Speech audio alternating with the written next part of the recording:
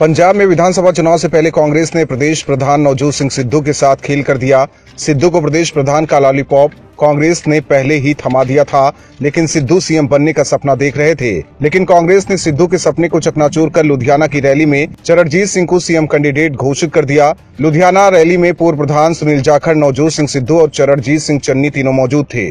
लेकिन जाखड़ और सिद्धू को कांग्रेस ने अब तक का सबसे बड़ा झटका दिया है। नाराज़, जाखड़ और सिद्धू दोनों ने कांग्रेस से बगावत शुरू कर दी है।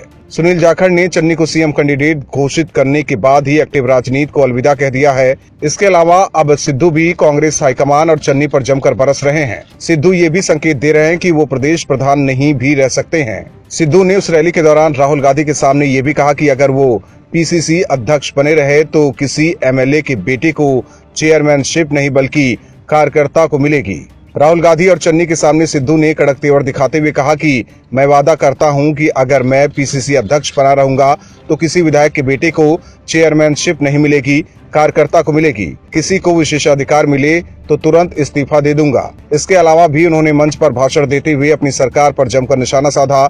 माना जा रहा है कि सिद्धू सीएम चेहरा नहीं बनाए जाने को लेकर पार्टी से अंदर ही अंदर नाराज़ हैं। लेकिन कांग्रेस ने वोटिंग के ज़रिए सीएम के चेहरे का चुनाव किया है। ऐसे में सिद्धू अब खुलकर कांग्रेस और चन्नी का विरोध भी नहीं कर सकते हैं।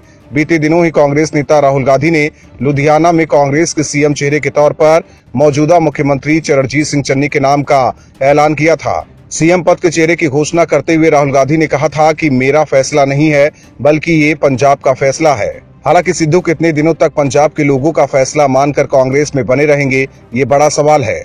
उधर पूर्व प्रधान सुनील जाखड़ ने भी कांग्रेस को झटका दिया है।